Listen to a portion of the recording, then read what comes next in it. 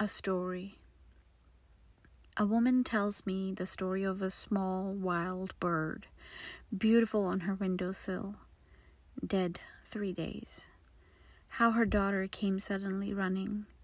It's moving, Mommy, he's alive. And when she went, it was. The emerald wing feathers stirred, the throat seemed to be